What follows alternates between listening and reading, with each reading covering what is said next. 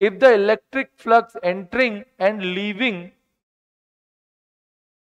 if the electric flux entering and leaving an enclosed surface respectively are phi 1 and phi 2 तो ये जो है okay the electric charge inside the surface will be no issue देखिए entering वाला flux जो दिया हुआ है वो है फाइव वन और लीविंग वाला जो दिया हुआ है हमको, वो दिया हुआ है फाइव टू राइट और हम लोग क्या लेते हैं? लीविंग वाले को पॉजिटिव लेते हैं फ्लक्स बाहर की तरफ़ जो आती है राइट तो यहाँ पर हमारे पास जो फ्लक्स नेट होता है that is given by E dot D S integral है, ठीक है? अब यहाँ पर हर जा रहा है, यानी कि नेट फ्लक्स यानी कि five two will be in plus sign five one and this is your Q in by epsilon naught okay तो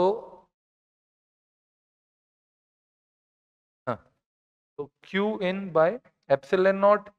charge enclosed will be your nothing but phi 2 minus phi 1 into epsilon naught, right? ये net charge होगा उसके अंदर तो option number B five two minus five one into epsilon naught तो calculate कर सकते हैं। This was question number eight